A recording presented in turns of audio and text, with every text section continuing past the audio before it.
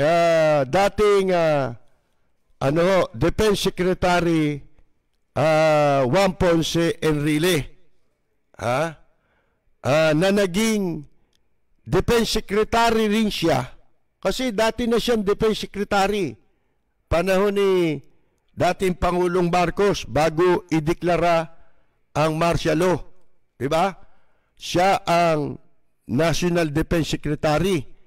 O pagkatapos, nung mag-martial at uh, nagkaroon ng bagong saligang batas, di ba?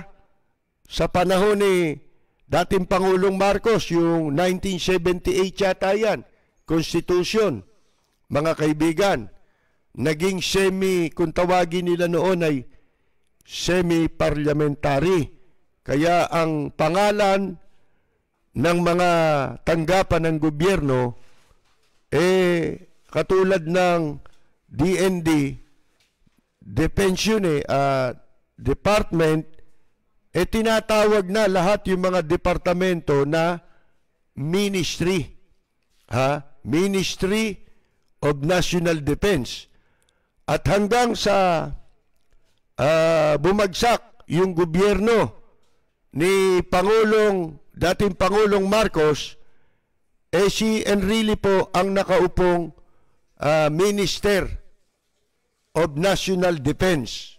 Kasi po hanggang sa pagbagsak na sa panahon na bumagsak yung administrasyon ni dating Pangulong Marcos, ang umiiral na batas noon eh hindi na po yung 1935 Constitution, kung hindi 1978 Constitution na, mga kaibigan, uh, na kung tawagin nila dati ay semi-parliamentary sapagkat medyo iba ang ang talagang forma nito kaysa dun sa uh, ka, uh, karaniwang alam natin na parliamentary form of government.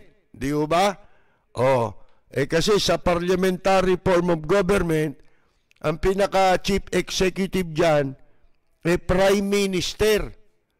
Di ba? Nagkaroon din tayo noon ng prime minister, pero, mga kaibigan, eh meron tayong presidente.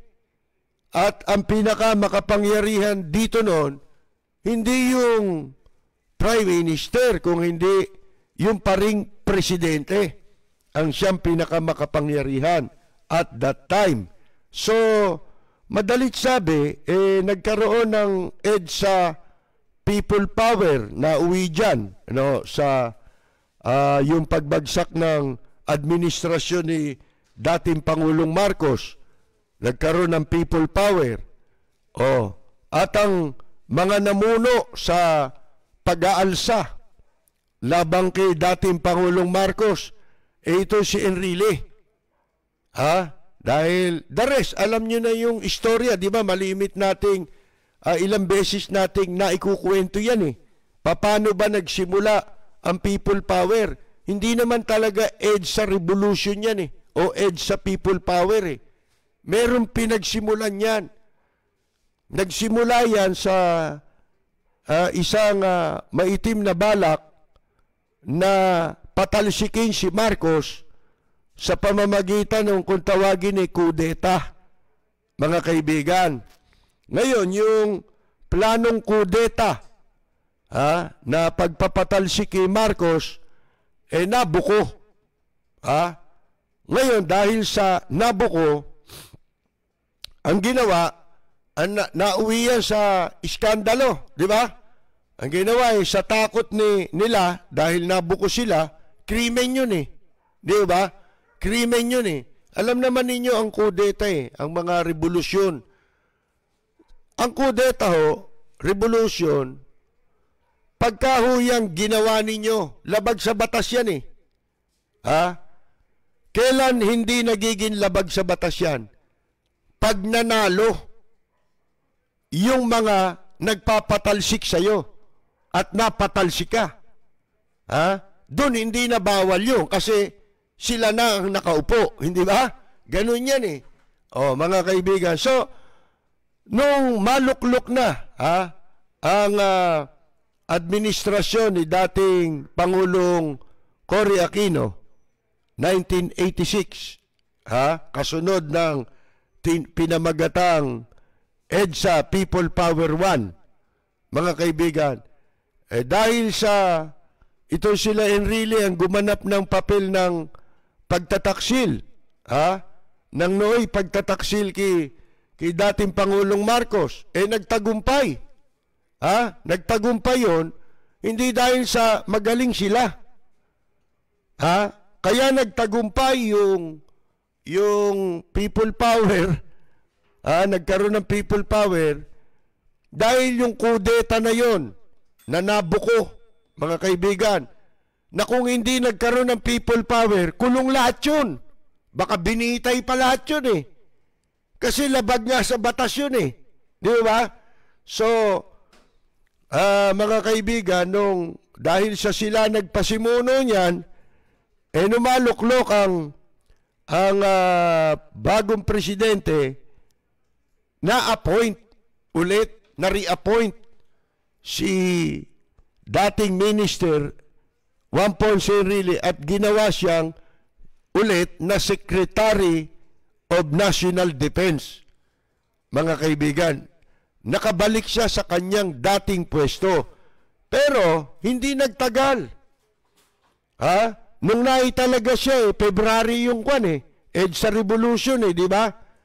Uh, March 25 siya naitalaga ayon sa nakatala sa kasaysayan, 1986. So, uh, isang buwan halos, mga kaibigan, na italaga siyang Defense Secretary. At hindi nagtagal sapagkat November lamang noong taong 1986 ay sinibak ni Presidente Cory Aquino si Juan Ponce Enrile bilang Defense Secretary matagal sa serbisyo eh, sa National Defense eh. Oh, naging maikli lang ang termo ni Enrile noon sa panahon na ni Mrs. Cory Aquino sapagkat maraming issue ha, na nangyari sa panahon ni, ni sa maikli niyang termino sa ilalim ng administrasyon ni dating Pangulong Cory Aquino. Mga kaibigan, napakaraming naging issue laban sa kanya. Oh, mga kaibigan, kasi nga, nung una, tuwan-tuwa sila, di ba? Head sa niya, people power anya eh. Oh, eh, hero yan eh, hero. Mga kaibigan, yung pala, bandang uli, na-realize nila, Herodes pala ito. Ha? Hindi pala ito hero. Oh, Hindoropot pala. Siguro, yun ang ano nila. Iniisip nila, bakit? Eh yun na nga yung sinasabi natin na yung edge sa People Power 1, aksidente lang yun. Ha? Dahil yun ay nagsimula sa kudeta, sa plano na mapatalsik si si dating Pangulong Marcos ng ilang mga uh, nasa military, yung mga junior officers ha? Na later on eh, ang lumutang na leader daw eh, ito si, si Gringo Hunasan. Di ba? Mga kaibigan. Dahil dun sa grupo nila na halos lahat ng nag-participate ay mga nagmula sa Reform the Armed Forces Movement. Eh pero, nung maupo na, wala nangyari reforma eh. Pinalitan lang yung pangalan eh. Tinawag yun dati na New Armed Forces of the Philippines. Oh, yan ang ano nun eh. Naging pangalan yan eh. Oh, mga kaibigan. Dahil siya nagkaroon ng mga uh, sa ilalim ni Mrs. Aquino, nagkaroon din ng mga kudeta-kudeta. At uh, ang pinagsususpechahan dahil karamihan sa sa mga nagparticipate ay nagpa-participate sa kudeta labang kay Mrs. Aquino, eh mga kasamahan nitong si dating uh, Colonel Gringo Hunasan, dating Colonel Senator na ngayon eh nasa kwan, DOST, di ba? Kalihim ng DOST. Oh, eh, si Hunasan, eh, AD camp yan ni Defense Secretary Juan Ponce Enrile.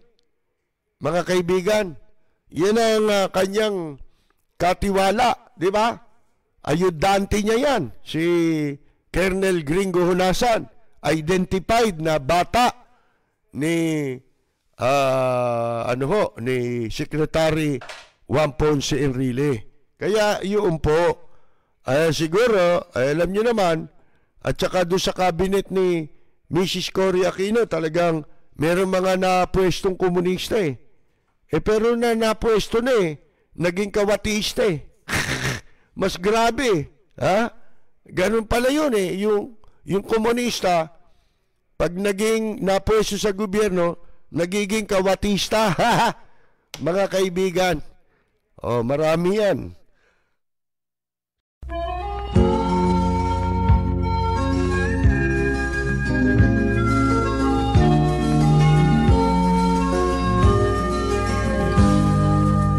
Bayan ko ay isa ang lahi.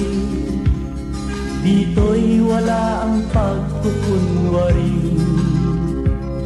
Hindi hindi padagaig Sadyang kilala sa daigdig. May pagkakaisa sa bawat nais. Ang bayan ko'y punong-puno ng yaman. Bakit ito'y kailangan pang iwanan? Hindi nga ba't anong sarap? Mabuhay ng buong ganap Sa bayan mo, sumabit man yaong wakas. Dito sa bayan ko, lahat kami pantay-pantay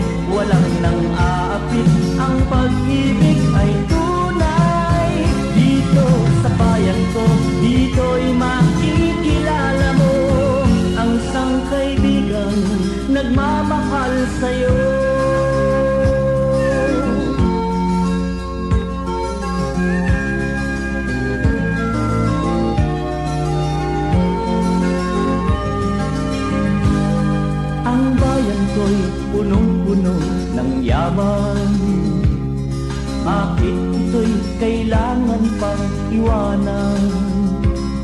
Hindi nga ba't anong sarap Mabuhay ng buong ganap